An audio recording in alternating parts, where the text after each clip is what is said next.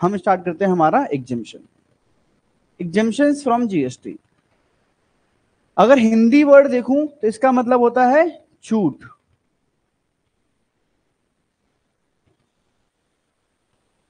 किससे? जीएसटी से. सरकार कहती है कि सरकार कहती है कि क्या जीएसटी हर कोई देगा? सरकार ने कहा यस अगर मैं यहाँ पे बोलूँ, यहाँ पे सपोज़ करो गवर्नमेंट है, और मैं यहाँ पे सामने खड़ा हुआ हूँ। मैंने इससे क्वेश्चन किया whether each and everybody is liable to pay GST और everybody each and everybody in India is under the ambit of GST government का रिस्पॉन्स मुझे आया 110%. I raised the question, sir, if somebody is doing a social activity,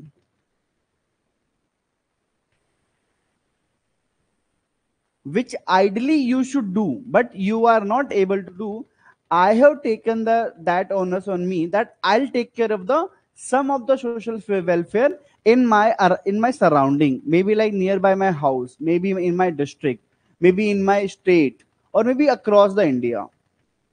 तो आप मुझे एक बात बताइए, सर। आप मेरे, जो आपका काम मैं कर रहा हूँ, ठीक है? और आप जो भी सामान मैं खरीदता हूँ, जो भी सामान मैं खरीदता हूँ, उस सोशल वेलफेयर के लिए आप उसको महँगा कर रहे हो जीएसटी लगा करके।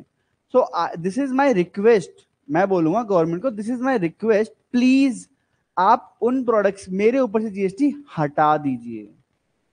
गवर्नमेंट को मेरी बात समझ में आएगी कि हाँ he is a right person and he is raising a right question to us okay let's remove such kind of person from the ambit of GST अगर सरकार ने बोला कि अगर कोई ऐसी कोई स्पेसिफिक काम करता है या सर्विसेज़ देता है या सामान बेचता है, हम उसके ऊपर जीएसटी नहीं लगाएँगे।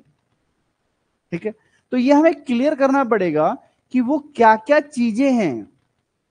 वो कौन लोग हैं जो जीएसटी के दायरे में नहीं आते? या फिर वो कौन सी सर्विसेज़ हैं? कौन से वो गुड्स हैं जो जीएसटी के परव्यू से बाहर हैं? तो ये आपको समझना बहुत ज़रूरी है कि एग्जामेशन है क्या चीज़? First thing secondly what kind of services what kind of goods are have been kept out of the purview of the GST ठीक है? तो वो बेटा हम टेकअप करते हैं। देखिए, ध्यान से देखते हैं पहले, इसका मतलब क्या है? The power to grant exhibition सबसे पहली बात कि ये करेगा कौन? पावर किसके पास है? पहले वो तो देखें। Has been granted vide section 11 of the T act and vide six of the I G S T act state GST laws also contain identical provision granting power to exam S G S T similar to this क्योंकि जो CGST में, वही SGST के अंदर है। तो section 11 कहता है एग्जामेशन देनी है सीजीएसटी का, और सेक्शन 6 कहता है आईजीएसटी का। स्टेट ब्लॉक के अंदर सेम बात लिखी होती है hundred and ten percent max sorry ninety nine percent same बात होती है। बस रेट का हेर फेर होता है बस। ठीक है? हल्का फुल्का वो भी। अब हमें सबसे पहले इन दोनों का मतलब फिर से देख लेते हैं। हमने ये पास्ट में कवर किए हुए taxable supply and taxable supply what does it mean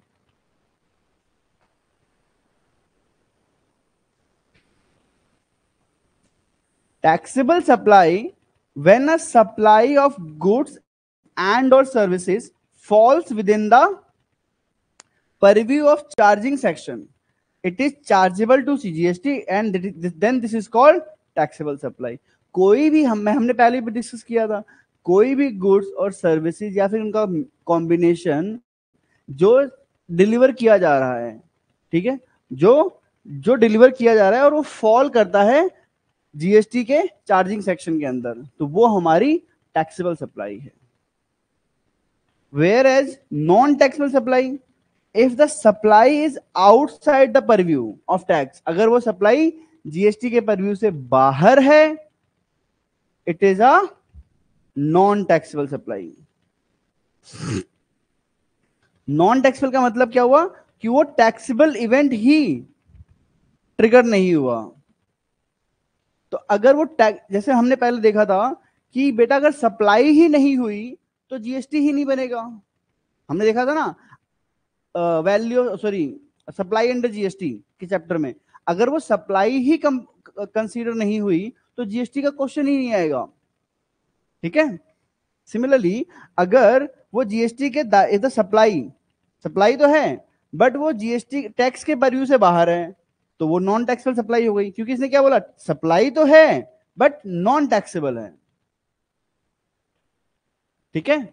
पहली चीज़ सप्लाई होनी चाहिए। दूसरी चीज़ it should be a taxable supply ठीक है? उसके बाद क्वेश्चन आता है what is the place of supply what is the time of supply and then what is the value of supply ठीक है?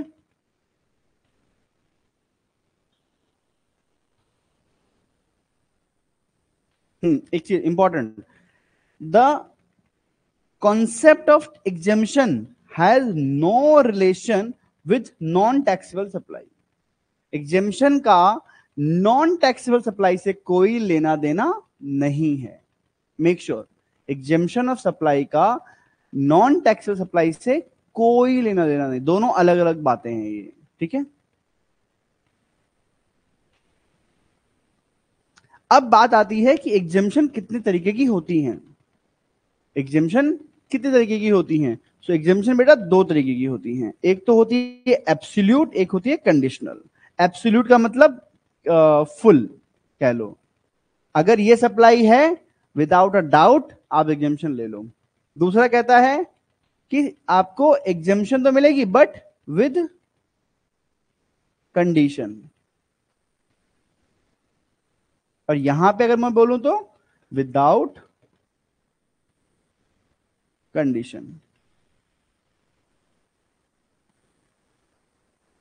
ठीक है? So there are two types of exemption first is absolute and second is conditional ठीक है बेटा? आगे चलते हैं। एब्सोल्यूट का मतलब कंडीशनल का मतलब। आइए पढ़ते हैं। It is the exemption which would be in respect of goods और सर्विसेज़ और both but not in respect of a specific class और classes of person and is available without any condition again it is important to note that no condition is being attach no condition is being attach with the absolute exemption यहाँ पे कोई condition नहीं होती है। ये full fledge होती है कि हाँ ये पूरी फुल फ्लेज एग्जामेशन है। If you are delivering this kind of services then entire will be uh, part of the exemption. बेटा नॉन टैक्सेबल सप्लाई का एग्ज़ाम्पल है एल्कोहलिक प्रोडक्ट्स और पेट्रोलियम प्रोडक्ट्स ठीक एग्ज़ाम्पल देख लेते हैं बेटा एब्सोल्यूट सप्लाई का एग्जामेशन का। When an exemption is granted in respect of a supply of water supply of water then it is absolute exemption as there is no condition attached to it regarding price limitation, classes of suppliers, classes of recipient, etc. Any taxable person involved in this exempted supply would be entitled to exemption. कि supply of water जो है किसको दिया जा रहा है कौन दे रहा है कोई फ़र्क नहीं पड़ता क्योंकि this is a basic need of each and every individual पानी सबको पीना है तो पानी कौन सप्लाई कर रहा है, किसको कर रहा है, कोई फ़र्क नहीं पड़ता। ये फुल एग्जामेशन है एब्सोल्यूट एग्जामेशन कि आप सोचिए कि मतलब आप सोचिए कि क्या गरीबों को जीएसटी नहीं देना? उसके ऊपर नहीं। जो अपर क्लास है, क्या उसको पानी की ज़रूरत नहीं है? उसको ही पानी की ज़रूरत है। ठीक है? Next is conditional exemption it is the exemption which is granted on supply of specific goods and services but as subject to fulfillment of certain conditions. Unlike absolute, this conditional exemption is available but with a condition. अब ये क्या है वो देखते हैं If the government exemption exempts the payment of tax by any taxable person on supply of footwear costing less than 100 क्या बोला उसने कि foot, footwear costing less than hundred. तो ये क्या बोल दिया? अगर सौ रुपए से कम का जूता होगा तो एग्जामेशन है। तो ये क्या है? ये कंडीशनल एग्जामेशन है। अगर 101 हुआ आपके एग्जामेशन खत्म। ठीक है? Then it is a conditional exemption in this case if the cost is more than 100 then this exemption will not be available here price limitation is the condition ठीक है बेटा आपको समझ में आ गया दोनों में फ़र्क क्या है? दोनों एग्जामेशन में आपको फ़र्क आ गया समझ में आ गया क्या है? Absolute exemption and conditional exemption ठीक है बेटा? बताइए एक बार, आपको समझ में आ गया क्या? सर, ये लास्ट लाइन समझ नहीं है एब्सोल्यूट एग्जामेशन की। लास्ट क्या है बेटा? Any taxable person involve in this exempted supply would be entitle to exemption कोई भी टैक्सेबल पर्सन जो है, जो इस सप्लाई में एग्जेम्प्टेड सप्लाई में इन्वॉल्व होगा, उसको एग्जेम्पन ये मिल जाएगी। मतलब ये सबके लिए है। एक पर्टिकुलर पर्सन के लिए नहीं है। पर्टिकुलर क्लास के लिए नहीं है। दिस इज़ फॉर एवरी ठीक है? यहाँ पे देखोगे आप तो ये एक पर्टिकुलर क्लास के लिए दी गई है। हंड्रेड रुपीज़ का होना चाहिए जूता, उससे कम का होना चाहिए मतलब ठीक है? एक बताइए बेटा, समझ में आ गया? दोनों का मतलब absolute exemption and conditional exemption any doubt है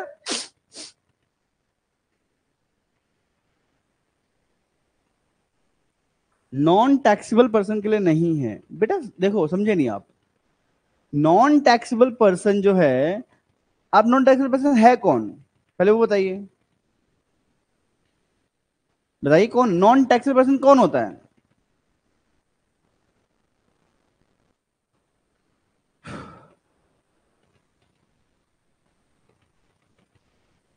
तो आप ये समझिए बेटा कोमल कि क्वेश्चन अभी हम कर क्या रहे हैं और आपका डाउट क्या है। देखिए, आप कह रहे हो नॉन टैक्सेबल पर्सन के लिए नहीं है। कस्टमर जिनके पास जीएसटी नंबर ना हो। बेटा देखो सप्लाई कौन कर रहा है पहले वो समझो आप। यहाँ पे बात हम किसकी कर रहे हैं? रजिस्टर्ड पर्सन की। अगर वो अनरजिस्टर्ड है तो फिर इससे तो बात ही खत्म हो गई ना। समझे? अगर वो अनरजिस्टर्ड है तो क्वेश्चन ही अलग चला गया। There is a difference between registered person and unregistered person and non taxable person ये सब अलग अलग बातें हैं बेटा। ठीक है? अगर उसके पास जीएसटी ही नहीं है तो इसका सवाल ही नहीं होगा ना। ये किसकी बात हो रही है? किसकी बात हो रही है? जो रजिस्टर्ड पर्सन है बट वो सप्लाई ऐसी कर रहा है। ठीक है? हम क्या बात कर रहे हैं स्टार्टिंग से? मैंने आपको फ़र्स्ट ये बताया था कि रजिस्ट्रेशन इसीलिए सबसे पहले करवाया था कि रजिस्ट्रेशन ज़रूरी क्यों है? ठीक है? आगे देखते हैं। हम तीन वर्ड्स का मतलब देखते हैं। Effective rate full and partial exhibition दोनों का फ़र्क देखते हैं। इफ़ेक्टिव रेट का मतलब क्या वो समझ लेते हैं।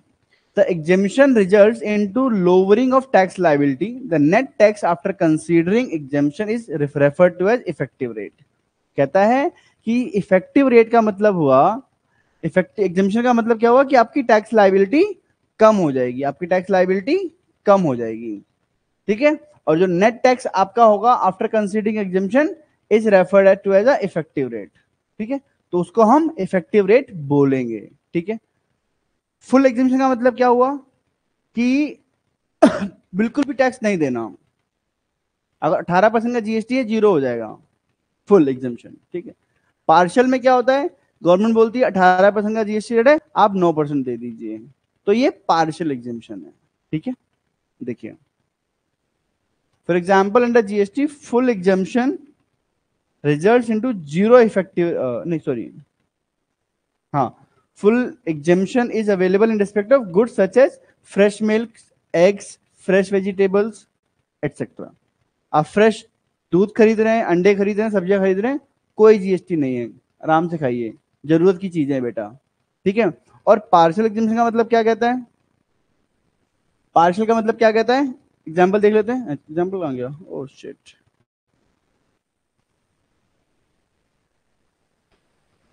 ठीक है, यहाँ पे समझाता हूँ मैं कि सपोज़ करो यहाँ पे क्या होगा कि आपका रेट कितना है? अठारह परसेंट लेट सपोज़ गवर्नमेंट बोलेगी, ठीक है, आप इस प्रोडक्ट पे नाइन परसेंट दे दीजिए। Whatever the rate they can declare मतलब बारह भी कर सकते हैं, पंद्रह भी कर सकते हैं, वो गवर्नमेंट के ऊपर है, ठीक है? तो that this is what we call a partial exemption ठीक है बेटा? अब होता है, पहले हमने क्या देखा कि टाइप्स ऑफ़ एग्जामेशन क्या होती हैं? तो हमारी दो होती हैं। अब हम क्या देखने जा रहे हैं? Types of exemption on the basis of mode of issue mode of issue बेटा, हमारे पास दो तरीके की एग्जामेशन होती हैं। ठीक है?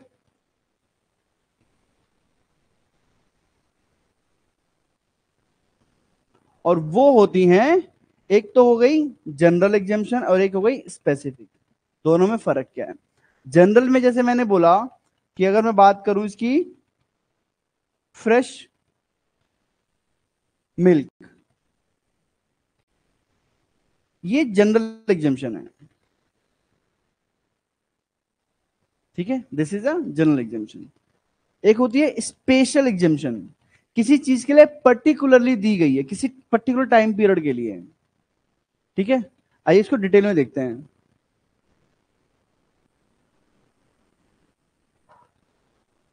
जनरल एग्जामेशन नोटिफिकेशन के थ्रू आती है।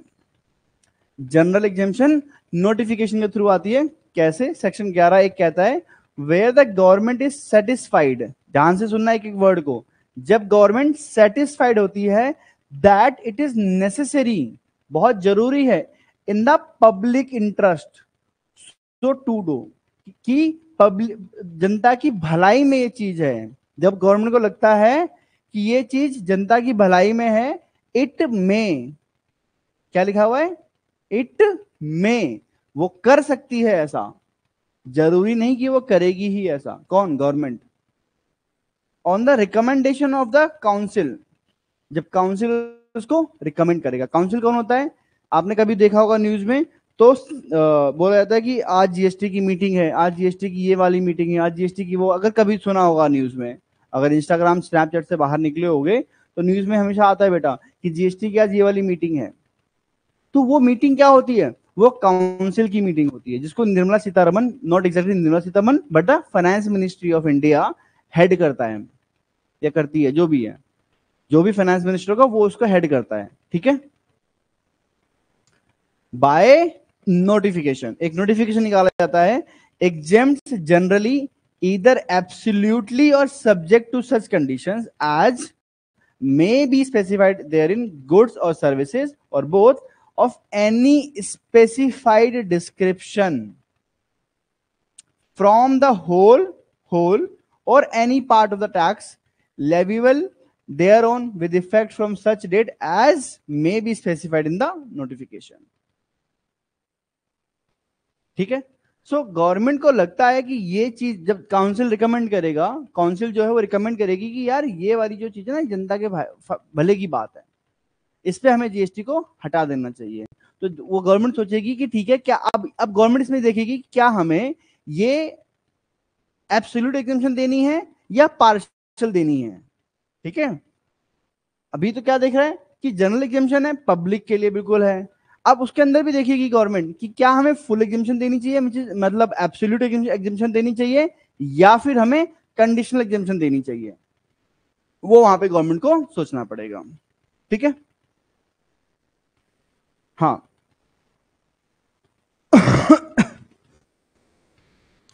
लेकिन गवर्नमेंट कब देगी? वो इन चार कंडीशंस के बाद देगी। कैसे? देखिए। The exemption should be in the public interest सबसे पहली ज़रूरी चीज़ कि एग्जेम्शन पब्लिक इंटरेस्ट में होना चाहिए। It should be by way of issue of notification और वो नोटिफिकेशन के थ्रू आनी चाहिए। ठीक है? ये वर्ड ज़रूरी है बेटा। इसकी जगह आप कुछ और नहीं लिख सकते। इसकी जगह आप कुछ और नहीं लिख सकते। ये कुछ वर्ड्स हैं, जैसे हर जगह होते हैं, वो वर्ड्स आपको वही लिखने पड़ेंगे। ठीक है? गवर्नमेंट जब तक काउंसिल रिकमेंड नहीं करेगी, अपने आप नहीं करेगी। Can notify on the recommendation from council only मैं जाऊँ कि सर ये कर दो बोलेगी आप बाहर जाओ दरवाज़ा जाते हुए दरवाज़ा बंद करके जाना, ठीक है? ऐसे कभी नहीं होता। मैं काउंसिल के पास जा सकता हूँ कि सर ये ऐसा ऐसा सा है, आप इसको एक बार देखिए। काउंसिल उस पर बैठेगी मीटिंग करेगी कि हाँ यार, कुशल आया था तो क्या उसकी बात को ध्यान देना चाहिए? फिर उस पर बात करेंगे कि हाँ नहीं, यार बात तो सही उठाई कुशल ने। तो फिर वो जाएगा गवर्नमेंट के पास। और गवर्नमेंट अगर नोट सेटिस्फाई हो जाएगी काउंसिल की बात से तो फिर जाकर के गवर्नमेंट एक नोटिफिकेशन निकालेगी कि ठीक है, इस इस पर्टिकुलर कैटेगरी को हमने एब्सोल्यूट एग्जामेशन दे दी, या फिर पार्शियल एग्जामेशन दे दी, या कंडीशनल एग्जामेशन दे दी। जो भी होगा उनको समझ में आएगा, वो वो कर देंगे। ठीक है? मे बी एब्सोल्यूट और conditional exemption may be may be for goods and और सर्विसेज़ कोई भी एग्जामेशन हमें दी जा सकती है बेटा। ठीक है? क्लियर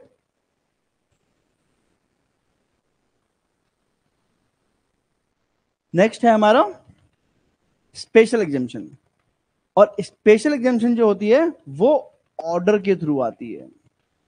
वो आती है ऑर्डर के थ्रू प्रोसेस यहाँ भी सेम ही होता है, बस थोड़ा सा फ़र्क होता है। ये सेक्शन 11 सब सेक्शन दो में लिखा गया है where the government is satisfied that is it necessary in the public interest to so to do it may on the recommendation of the council सारी बातें सेम ही है ना? काउंसिल ही बताएगी गवर्नमेंट सेटिस्फाई होगी तो वो ऐसा कर सकती है।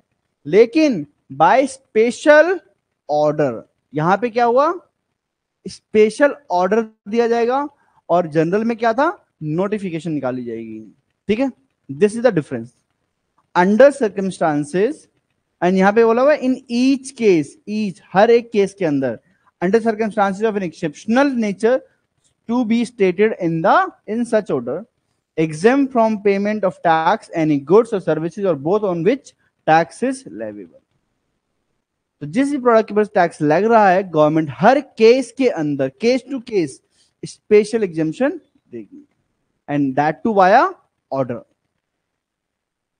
यहाँ पे कौन कौन सी कंडीशन होंगी वो देखिए, कि यहाँ पे भी एग्जामेशन जो है वो पब्लिक इंटरेस्ट में होनी चाहिए। ये भी काउंसिल के रिकमेंडेशन पे होगा बट ये जो होगा स्पेशल ऑर्डर पे होगा, ना कि नोटिफिकेशन पे। ठीक है? और स्पेशल एग्जामेशन जो होती है एक्सेप्शनल सर्कमस्टांसिस में दी जाती है बेटा।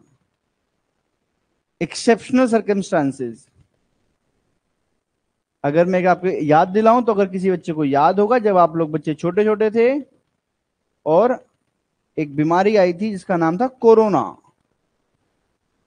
छोटे छोटे मेरा कहने का मतलब ये है, आप लोग नए नए बारहवीं से पास होकर के कॉलेज में आए होंगे आपको लगा होगा ओ माय गॉड हम कॉलेज में जा रहे हैं। लेकिन क्या हुआ? लॉकडाउन आप लोग घर बैठे हुए हो। ठीक है?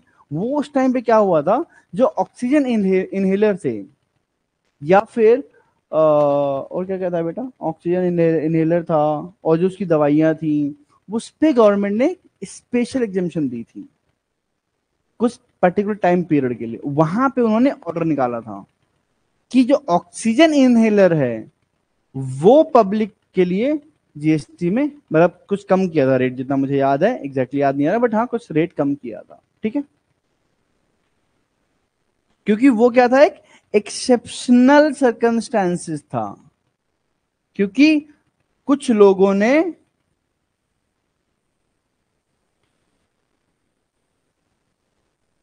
खा लिया था, कुछ लोगों ने किसी को खा लिया था, ठीक है? जो हमें पता है मे बी फैक्ट कुछ और हो ठीक है? क्योंकि उनको तो कुछ भी खाना होता है बेटा ये तो कुछ भी खा लेते हैं। रोड पे बेटा यहाँ पे कुछ नहीं मिलता। वहाँ पे कीड़े मकोड़े रोड पे नहीं होते क्योंकि वो खा, जाते हैं। ठीक है? खा जाते हैं ये लोग। हम्म आगे चले बेटा।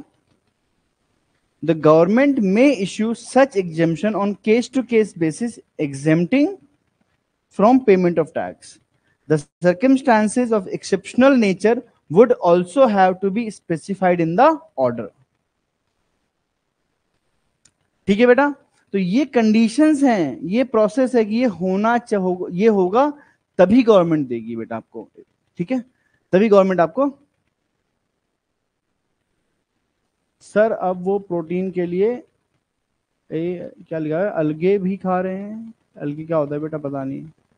आई डोंट नो बेटा। इसका मतलब क्या होता है? एलगे आई डोंट नो अंग्रेज़ी थोड़ी कमज़ोर है बेटा मेरी। ठीक है? तो ये बेटा हमारा स्पेशल एग्जामिशन है बाय ऑर्डर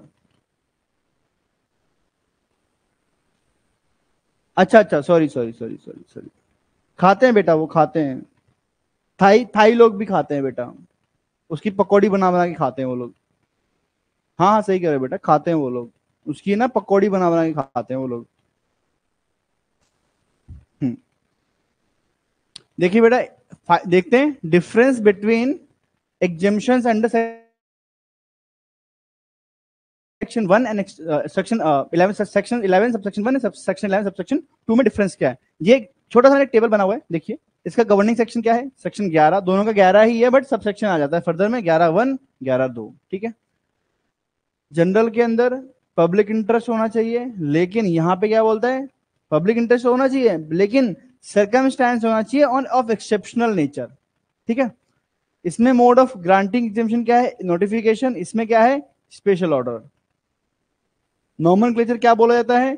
एग्जेम्पन नोटिफिकेशन इसको एग्जेम्पन ऑर्डर दोनों में फ़र्क है। वर्ड्स का गेम है बेटा सारा का सारा। It's all about words type of exemption यहाँ पे फुल और पार्शल दोनों हो सकती है, यहाँ पे फुल दी जाती है। ठीक है? स्पेशल के अंदर पार्शल का कोई कॉन्सेप्ट नहीं है। Date of exemption coming into force from the date specified in the notification और इसके अंदर नो स्पेसिफिक लीगल प्रोविजंस ठीक है?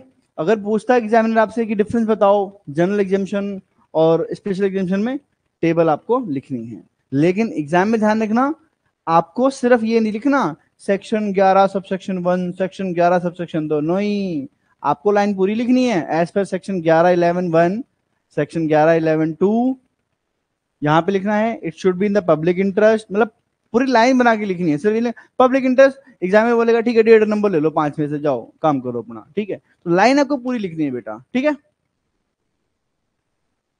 हम्म। तो देखिए बेटा कुछ गुड्स की लिस्ट मैंने डाली है यहाँ पे, कुछ एक गुड्स की, जो आपको जिसपे गवर्नमेंट ने एग्जेम्पन दी हुई है। आपको याद नहीं करना है। गुड्स के नाम याद नहीं करना है। फिर भी मैंने आपके लिए गुड्स की लिस्ट डाल दी है, ठीक है? पढ़ लेना। याद रहे, अच्छी बात है, नहीं रहे, कोई फ़र्क नहीं पड़ता। ठीक है? क्योंकि बेटा देखो, टोटल अड़तीस गुड्स हैं। टोटल अड़तीस गुड्स है थर्टी एट गुड्स हैं। ज़रूरी नहीं बेटा याद रहे ठीक है? कोशिश करोगे याद हो भी जाएगा लेकिन भूल जाओगे एग्ज़ाम में। क्या ये था क्या ये नहीं था ठीक है? तो पढ़ना ज़रूरी है कि हाँ ये आपको या, याद रहे नहीं रहेगा कोई दिक्कत नहीं। एग्जामिनर आपसे ये नहीं पूछेगा कि क्या ये जो पूजा सामग्री है इस पे एग्जामेशन है या नहीं है। ठीक है? Coconut cotton use in the khadi yarn all goods of seed quality coffee beans not roasted unprocessed green tea leaves fresh ginger fresh turmeric other than process in the form human blood and its components all types of contraceptive organic manure other than those bearing a brand names kumkum bindi sindoor ये क्या होता है? अल्टा पता नहीं बेटा। Fire woods और fuel woods wood sorry wood charcoal bitter leaves, judicial, non-judicial stamp, court fee, stamp fees, postal items like envelope, postal cards, or sold by government तो है बेटा काफ़ी सारे गुड्स जो जो आपको जिसपे जीएसटी नहीं लगता ठीक है? क्या क्वेश्चन करता है बेटा? डायरेक्टली क्वेश्चन करेगा आपको घुमा फिरा के क्वेश्चन देगा तो आप तो घूम जाओगे। आपको घुमा फिरा के क्वेश्चन देगा तो आप घूम जाओगे ना बेटा साहिल? तो आपको डायरेक्टली ही क्वेश्चन करेगा वो। एग्जामिनर हमेशा आपको डायरेक्टली क्वेश्चन करेगा बेटा, हमेशा। ठीक है?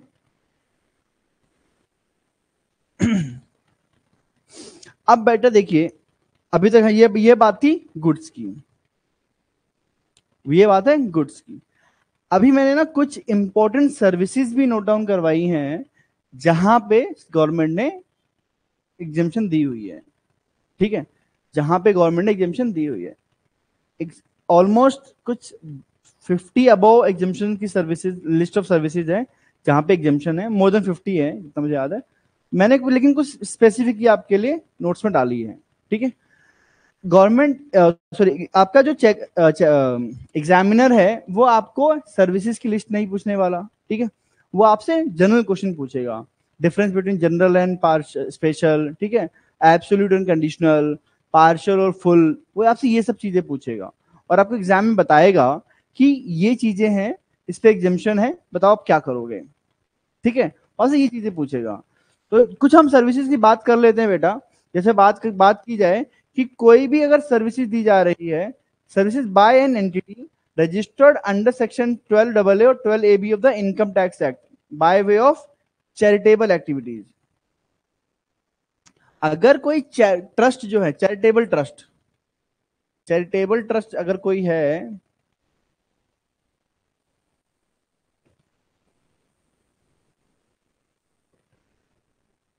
अगर कोई चैरिटेबल ट्रस्ट है, ठीक है तो वो बंदा अगर कोई सर्विसेज़ दे रहा है तो उसकी सारी सर्विसेज़ जीएसटी के परव्यू से बाहर है। ठीक है? अब गवर्नमेंट बोलती है कि चैरिटेबल एक्टिविटी का मतलब क्या होता है, वो भी देख लो। तो वो भी सारी की सारी यहाँ पे मेंशनड है। वो आपसे ये नहीं पूछेगा कि क्या वो केयर एंड काउंसलिंग कर रहा है, नहीं कर रहा, कुछ नहीं पूछेगा वो आपसे। वो सीधा बोलेगा चैरिटेबल एक्टिविटी कर रहा है चैरिटेबल ट्रस्ट है, खत्म बात। ठीक है? तो उसकी सर्विसेज़ को आपने जीएसटी नहीं लगाना है। ठीक है? कोई भी सर्विसेज़ गवर्नमेंट अथॉरिटी दे रही है by way of any activity in relation to any function interested to a municipality under article 243 W of the constitution are exam आपके घर आस पड़ोस में कम्युनिटी सेंटर बने होंगे बेटा। वहाँ पे कोई फ़ंक्शन करो हज़ार रुपए की जो भी फ़ीस होती है, हज़ार रुपए, पंद्रह सौ रुपए, दे दो। कोई जीएसटी लगता ही नहीं है। अल्टीमेट देखा जाए तो क्या, वो रेंटिंग ऑफ़ द प्रॉपर्टी है, लेकिन गवर्नमेंट कहती है, हमारा है, छोड़ दो, हम, हमारा पैसा हमारे पास आएगा, क्या होगा? नहीं चाहिए, रहने दो। और वो किसके लिए होती है? वो पब्लिक इंटरेस्ट के लिए होता है। ठीक है? गवर्नमेंट ने उसको भी मना किया हुआ है।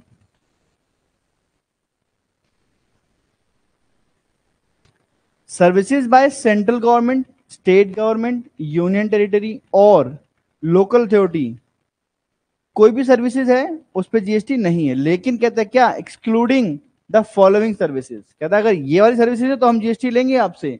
कौन सी? Services by the department of post services in relation to an aircraft और अ वेसल इनसाइड और outside the of a port or an airport, transport of a goods or passengers, any service other than services covered under entries A to C above provided to a business entity तो ये service हो गई बेटा आपकी। अगली service कहता है transport of passengers with और without accompanied belongings by air in economy class embarking from और terminating in an airport located in the states of these Arunachal Pradesh Assam Manipur Meghalaya Mizoram Nagaland, Sikkim, Tripura, at Bagdogra located in the West Bengal. अगर इन location पे आप economy class ले रहे हो तो GST नहीं लगेगा ठीक है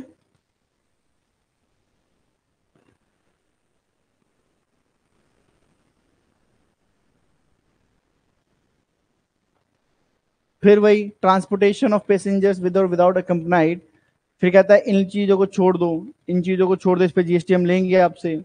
तो आपने मेरा सर्विसेज़ याद बिल्कुल नहीं रखनी है, मैंने छोटी छोटी सर्विसेज़ डाल दी थी चार पाँच, कि आप उसको एक बार देख लीजिए क्या सर्विसेज़ क्या क्या होती हैं। बुक्स के सारी सर्विसेज़ हैं, मत करना टाइम वेस्ट होगा आपका सिर्फ़। ठीक है?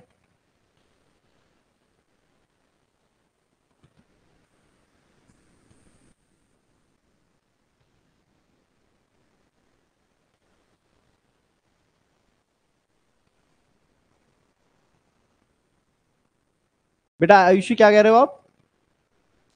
कहाँ पे क्वेश्चन है बेटा आपका? क्यों सर लिखा आपने? बट क्यों लिखा वो भी मुझे बता दो।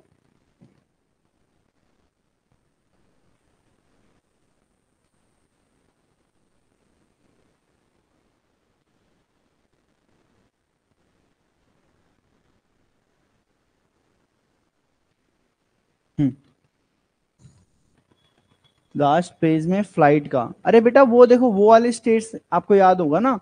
वो स्पेशल कैटेगरी स्टेट्स हैं। जब हम रजिस्ट्रेशन पढ़ रहे थे, वहाँ पे भी हमने, वहाँ पे जो मिनिमम थ्रेस लिमिट है, वो कम रखी हुई है। बिकॉज़ वो उन गवर्नमेंट ने, जो हमारी प्रीवियस गवर्नमेंट थी आफ्टर इंडिपेंडेंस जो भी गवर्नमेंट्स थी, उन्होंने उस, उन स्टेट्स पे कभी ध्यान ही नहीं दिया। वहाँ पे कभी डेवलपमेंट हुआ ही नहीं है बेटा। तो अभी जो करंट गवर्नमेंट है, वो उनको फोकस कर रही है, क्योंकि वो लोग भी तो इंडिया का पार्ट है। वो लोग भी तो इंडिया का ही पार्ट है बेटा। ठीक है? तो गवर्नमेंट कहते हैं कि वहाँ पे भी तो हमारी कनेक्टिविटी होनी चाहिए। अब वो कैसे बढ़ेगी? अगर हम प्राइजेस रिड्यूस रखेंगे, अब प्राइजेस कैसे रिड्यूस होंगे? जो जितना मिनिमम किराया है, जो खर्चा हो रहा है, वो तो देना, करना पड़ेगा ना।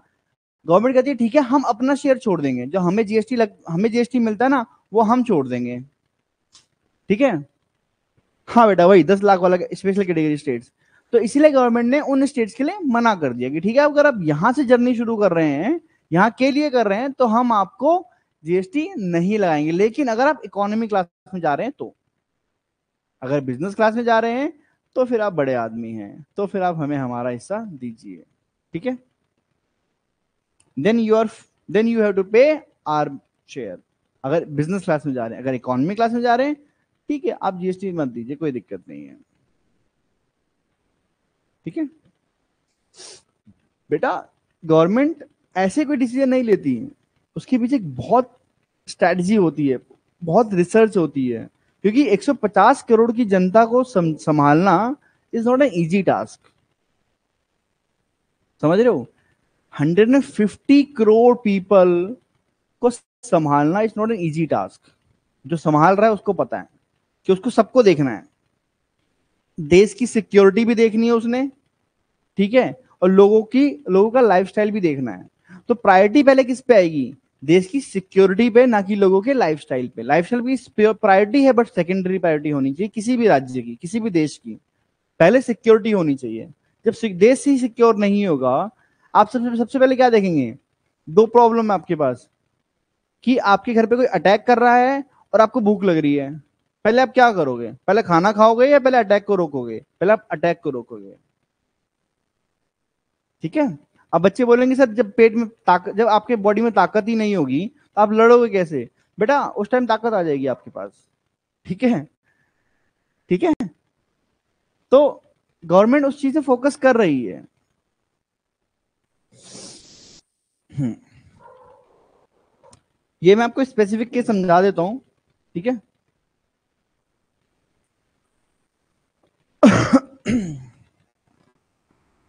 आर डब्ल्यू ए आप में से काफ़ी सारे बच्चे इसके बारे में जानते होंगे। क्या मतलब फुल फॉर्म होती है? रेजिडेंट्स वेलफेयर एसोसिएशन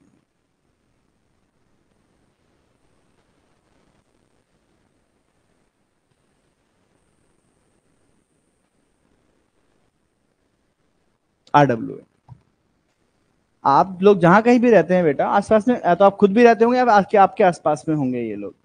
तो एक एक सोसाइटी को मैनेज करने के लिए एक कमेटी बनाई जाती है। या तो वो रजिस्टर्ड होगी, या वो अनरजिस्टर्ड होगी बेटा।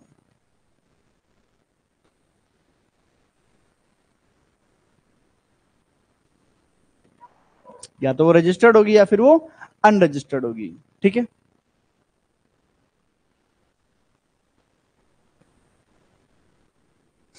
क्या कहते हैं? वो क्या करती है सॉरी हाँ ये क्या करते हैं, हर एक लैंडलॉर्ड से जो वहाँ पे रहता है, या फिर टेनेंट भी हो सकता है, बेटा, ऐसी बात नहीं है, उससे कुछ पैसा लेते हैं महीने का, जिससे क्या होता है, जो आपके सोसाइटी के बाहर गार्ड बैठा होता है, या फिर पूरी सोसाइटी में सफ़ाई होती है क्लीनिंग अच्छा सॉरी सफ़ाई लिखने जा रहा था मैं। या फिर कुछ एडवर्टीजमेंट करनी होती है for the welfare of the people of the society इसके पैसे कहाँ से आते हैं? इसके पैसे आप लोगों से ही आते हैं, जो आपसे मंथली लिए जाते हैं। मंथली ठीक है? और उसी पैसे से ये सारे खर्चे किए जाते हैं। The issue relating to GST or monthly subscription charged by the residential welfare association may be discussed as under क्या कहता है कहता है अगर पचहत्तर सौ रुपए पर महीना है तो क्या होगा कहता है supply of services by RWA a unincorporated body or a non-profit entity registered under any law services of supply of services by RWA to its own members by way of reimbursement of charges or share of contribution up to an amount of 7500 per month per member for a providing services and goods for the common use common use ध्यान से of its member in a housing society or residential complex are exempt from GST जो भी आपका RW है अगर एक member से एक महीने का पिछहत्तर सौ रुपए तक लेता है तो सारी की सारी सर्विसेज़ जीएसटी के परिव्यू से बाहर रहेंगे। Limit is seventy five hundred rupees per month per member registration of RWA if aggregate turnover of an RWA does not exceed twenty lakhs in a financial year it shall not be required to take registration and pay GST even if the amount of maintenance charges exceed 7500 per month per member. दो चीज़ें हो गई। पहली चीज़ क्या बोलता है? कि GST charge नहीं करना अगर पिछहत्तर सौ तक है। और दूसरी चीज़ क्या बोलता है? आपका अमाउंट दस हज़ार है। लेकिन ईयरली जो है सब्सक्रिप्शन वो बीस लाख से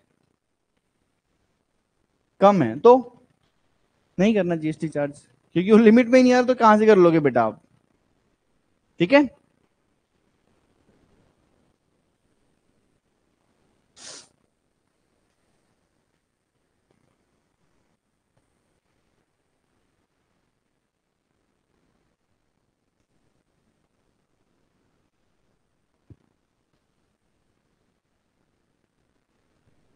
अब देखिए एनुअल टर्नओवर जो आरडब्ल्यू की है वो 20 लाख से कम है।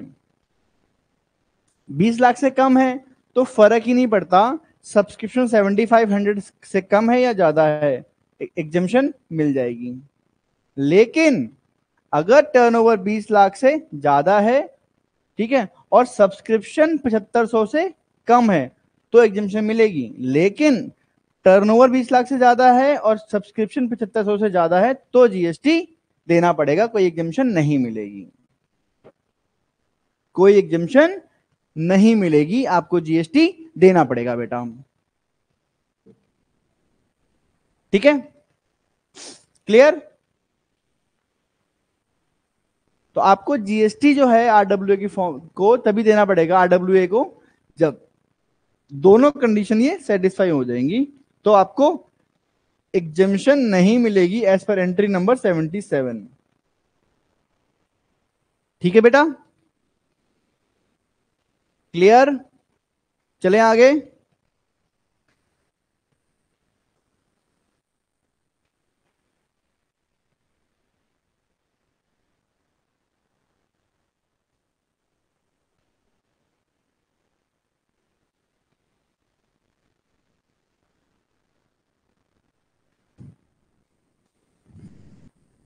ठीक है।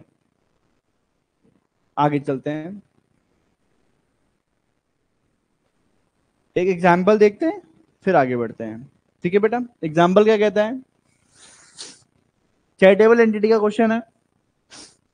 Dharmdas charitable trust registered under section twelve double of the income tax act 1961 has furnish the following details with respect to the activities undertaken by it you are required to calculate GST liability at the rate of 18 percent question क्या कहता है? कहता है amount received from renting of commercial property belonging to the trust कहता है amount receive किया उसने। Amount receive किया है, कितना? तीन लाख साठ हज़ार रुपए। Next fees for educational activities conducted for orphaned childrens एक लाख बीस हज़ार रुपए। फ़ीस अच्छा पे करी है इसने। कंडक्टेड है ना? पे करी है यहाँ पे इसने क्या किया था? अमाउंट रिसीव किया था। किसने? ट्रस्ट ने। जो प्रॉपर्टी ट्रस्ट की है। और यहाँ पे ट्रस्ट ने ये पैसा खर्च किया है। ठीक है?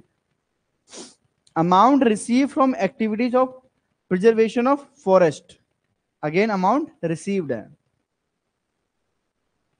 Fee receive for skill development activities for the prisoners twenty five thousand rupees Fee received for educational program for person living in the rural area above 65 years. Kitna?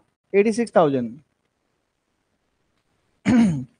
Fee received for physically or mentally abused skills development program is 40,000.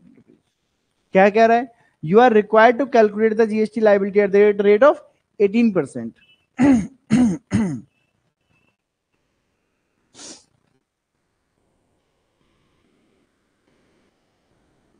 Question बेटा फिर से पढ़ लीजिए एक बार, आगे चलते हैं फिर।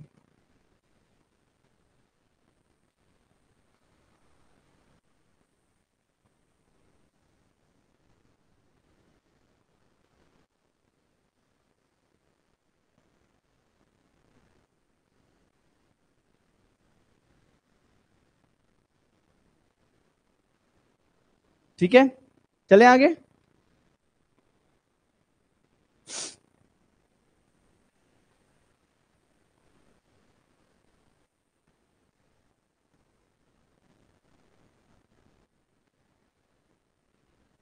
समझते हैं। पहले केस में क्या है बेटा? Amount received from renting of commercial property अब यहाँ पे बेटा अगर बोलो तो चैरिटी तो कोई हो नहीं रही है, या कोई चैरिटी हो रही है। No charity this is a clear cut business ठीक है? तो ये आपका टैक्सेबल वैल्यू में ऐड हो गया। Next fees for educational activity conducted for orphaned children ये आपकी चैरिटेबल एक्टिविटी कंसीडर होगी। ये आपका पूरा का पूरा एग्ज़ाम हो जाएगा। Next amount receive from activities of a preservation of forest same वही चीज़ है चैरिटेबल एक्टिविटी है। ठीक है? नहीं sorry this will not be treated charitable activity but this will be for the welfare activity ठीक है? Next fee receive for skill development activities for business this is also an आपका charitable activity आप समाज के लिए काम करें इसको हम चैरिटेबल एक्टिविटी नहीं बोलेंगे, इसको हम बोलेंगे सोशल एक्टिविटी ठीक है? चैरिटी नहीं हो रही है, एक सोशल एक्टिविटी हो रही है। सेम यहाँ पे भी क्या हो रहा है आपका? एक सोशल एक्टिविटी है for the people citizen senior citizen and that is also exam और यहाँ पे भी आपका फिजिकली और mentally abuse skills development programme है एंड दैट इज़ ऑल्सो आपका एग्ज़ाम तो आपके लिए देखा जाए तो तीन लाख साठ हज़ार की आपकी वैल्यू हो गई। ठीक है? अब वहीं पे अगर ये बोल दे कि इसके लिए फुल एग्जिमशन एब्सोल्यूट एग्जिमशन है सॉरी लेट सपोज़ तो यहाँ पे जीएसटी नहीं लगेगा। लेकिन यहाँ पे इसने क्या बोला हुआ है? अठारह परसेंट के हिसाब से जीएसटी निकालो। निकाल दिया। कंसीडिंग सी प्लस एस अठारह परसेंट आ गया आपका sixty four thousand eight hundred rupees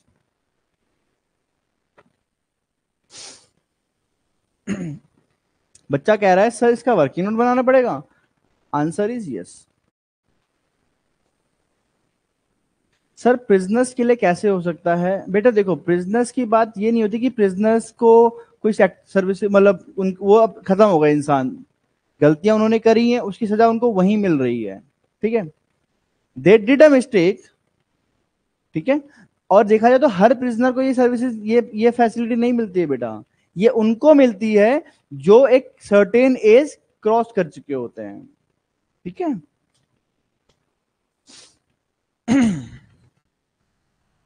चलिए, आगे चलते हैं। एग्ज़ाम्पल है बेटा, कर लेना, ठीक है? Sir where can I find seventy days study plan video please get it uploaded बेटा, अब तो सत्तर दिन बचे ही नहीं है ना? अब तो चालीस दिन बचे हैं, तीस दिन गए। आज सत्रह तारीख हो गई, अट्ठाईस मई को आपका पेपर है। ठीक है, अब सेवेंटी डेज़ वाला मत देखो। फोर्टी डेज़ वाला देखो। तो फोर्टी डेज़ में कोई वीडियो नहीं बनाई मैंने। पढ़ना शुरू करो बेटा बस। ठीक है? आँखें खोलो किताब खोलो और वीडियो खोलो। पढ़ना शुरू करो। ठीक है राघव? ठीक है बेटा? एग्ज़ाम्पल पढ़ लेना आप। मतलब आंसर है इसका यहीं पर। कोई प्रॉब्लम आप मुझसे पूछ लेना। We can discuss same working note है बेटा। वर्किंग नोट आपको लिखने हैं। एक बच्चा मुझसे पूछ रहा था कि सर, अगर वर्किंग नोट हमें सेक्शन याद ही नहीं है तो वर्किंग नोट कैसे लिखेंगे? बेटा, मैंने आपको क्लास एक नोट भेजा था वॉइस नोट आप सबको बता देता हूँ। मैंने आपको हर क्लास में बोला है, अगर वर्किंग नोट याद है, बहुत अच्छी बात है। अगर नहीं याद है, आपको आंसर लिखना है, जो मैंने लाइन बताई है।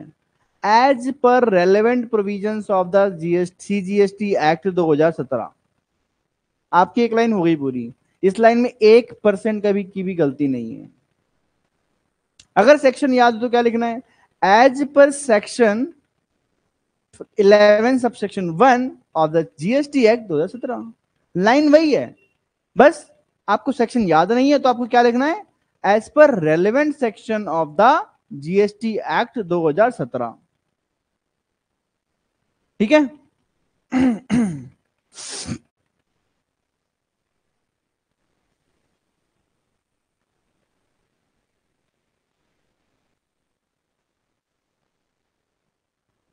हाँ जी।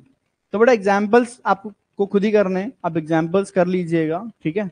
ये एग्जाम्पल्स वो एग्जाम्पल्स हैं जो थोड़ा सा जिसमें सारे सारे के almost like most of the most of the services मैंने कवर करने की कोशिश करी है, ठीक है? तो एग्जाम्पल्स आप कवर कर लेना, ठीक है? इसमें कोई डाउट हो, आप मुझसे पूछ लीजिए, हम बात कर लेंगे। और एग्जामेशन में हमारा इतना ही है बेटा, इससे ज़्यादा नहीं है। बस आपको क्वेश्चन सॉल्व करने पड़ेंगे। टॉपिक जो मैंने थ्योरी कराई है, वो एक बार पढ़ लीजिएगा। ठीक है? और लेकिन जितने भी इलस्ट्रेशन हैं please try to solve this as much as you can doubt है? लेट्स डिस्कस ठीक है? एग्जामेशन बेटा हमारा इतना ही है। नेक्स्ट क्लास के अंदर हम इन्वॉइसिस की बात करेंगे। हमें टैक्स इन्वॉइस के बारे में पता है सेक्शन थर्टी वन ठीक है? हमें अब डेबिट नोट और क्रेडिट नोट के बारे में बात करनी है कि वो क्या होते हैं और वहीं पे हम ईवी बिल के बारे में भी बात करेंगे। ठीक है? तो हमारा जीएसटी बेटा जो है बिल्कुल मिलेंगे बेटा। बिल्कुल मिलेंगे बेटा। ठीक है? तो हमारा बेटा अभी क्या बचा हुआ जीएसटी में? Tax invoice debit note credit note e way bill और assessment offences and penalties and आपका एक दो टॉपिक मिसलेनियस में रिफंड वगैरह वो मैं करवा दूँगा। तो प्रोबेबली हमारी दो से तीन क्लासेस और होंगी जीएसटी की then we will go to the custom ठीक है? तब तक आप बेटा ये इस टॉपिक को एक बार रिवाइज कर लीजिएगा ठीक है? और फिर हम मिलते हैं हमारी कल की क्लास के अंदर सेम टाइम पे। ठीक है बेटा? ठीक है बेटा? मिलते हैं नेक्स्ट क्लास के अंदर सेम टाइम पे। आ, हमारे जो जो भी मिसलिनियस टॉपिक बचे हुए वो डिस्कस करते हैं हम और फिर हम कस्टम पे चलेंगे।